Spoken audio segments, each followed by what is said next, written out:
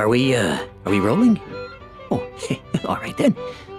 Hello, and welcome to my short presentation on keeping backyard flocks and pet birds safe from infectious diseases. Of course, I have what you might call a vested interest in this topic. Eh, but I'm sure you too want to keep your birds, your family, and yourself safe and healthy. Knowing what to do to keep your birds free from dangerous illnesses such as avian influenza and exotic Newcastle disease isn't rocket science. In fact, there are just five basic points you need to remember. First, limit exposure to visitors. Second, keep new or returning birds separate from the others. Third, keep wild birds and other animals away. Fourth, know the signs of illness and take action. And last, but certainly not least, keep things clean. Now, let's take a look at each of these five points in a little more detail.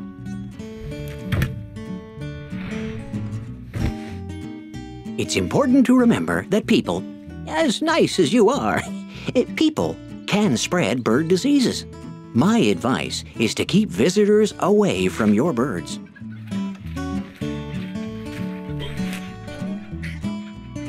But if someone must enter your property or handle your birds, make sure that they're aware that they're entering an area that you're trying to keep free from infection.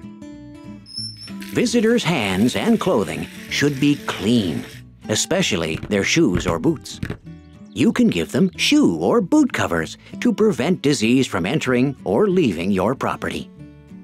So, summing up, you're best to keep visitors away from your birds, but people who come in contact should be reminded that they may be carrying an infection and that you're doing what you can to keep your birds free from disease. Birds can pass disease from one to another.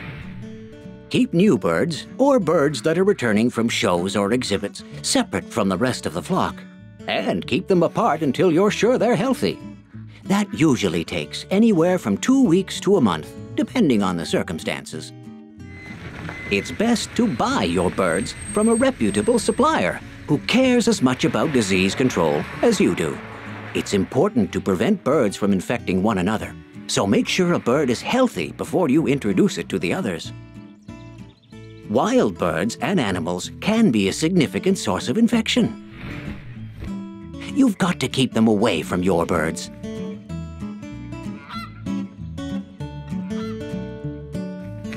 Wild birds, as well as other wild animals and birds, can carry disease-causing viruses, parasites, and bacteria.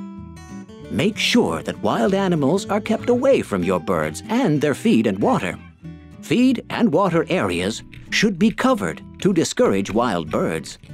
It's good practice to clean up any spilled feed and litter and keep feed in sealed containers to avoid attracting, well, unwanted guests.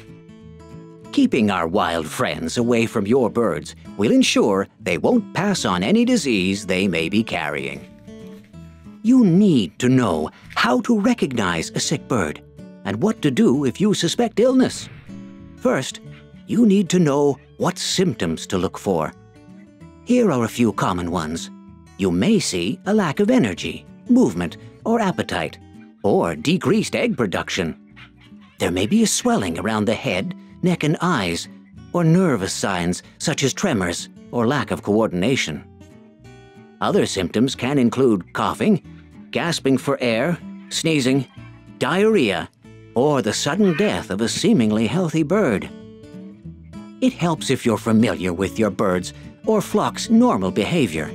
That way, unusual behavior will be more obvious. If you think you have a sick bird, call your vet. It's always better to be overcautious. Early detection can limit the effect of disease on your birds and possibly your neighbor's birds as well. Dangerous viruses, parasites, and bacteria can live in organic matter such as litter and soil, so keep things clean. To start, routinely and thoroughly clean the cages and area where you keep your birds, as well as egg trays, tools, and water and feed containers. Have a cleanup routine for people clothing, footwear, and equipment before and after handling birds. Basically, it's best to have a cleanup routine for anything coming in contact with your birds. And supply your birds with clean water and safe, healthy feed.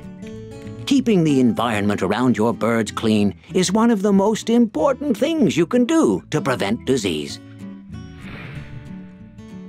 So, now you know how to prevent and detect disease in your backyard flock or pet birds. Do you remember the five basic points? Limit exposure to visitors. Separate new or returning birds. Prevent contact with other birds and animals. Know the signs of illness and take action if they appear. And keep it clean.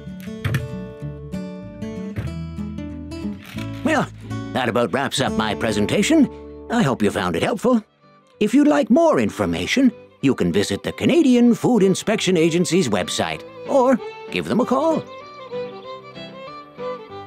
Thanks for watching. I think that went pretty well. How do you feel? Oh, good. Well, I, I had a bit of jitters at first. Uh, could you tell? Eh? Just kidding about that one.